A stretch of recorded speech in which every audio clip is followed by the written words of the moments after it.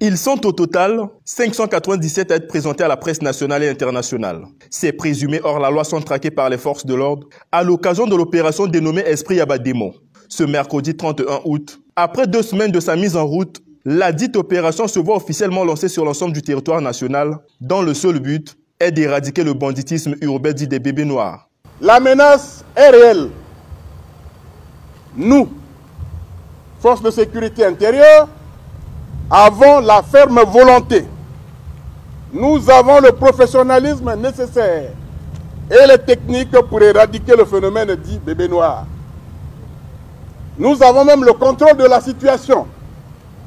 Et pour illustration, nous venons de présenter ce jour au public un échantillon de ces quelques éléments présumés bébés noirs tombés dans les mailles des filets des forces de sécurité.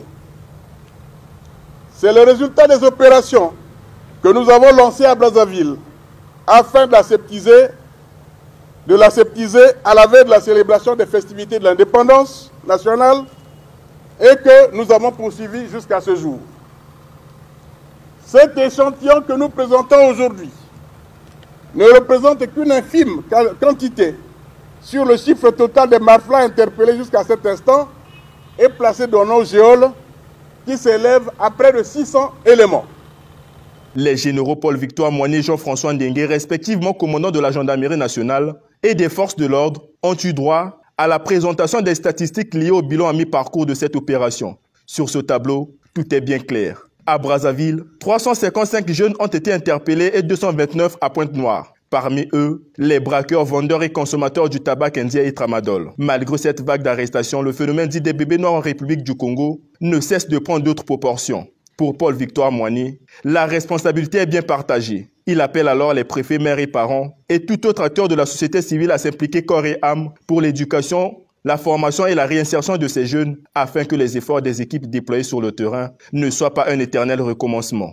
La lutte contre le phénomène dit bébé noir ne peut s'arrêter à la simple interpellation que nous faisons et à leur présentation devant le procureur de la République.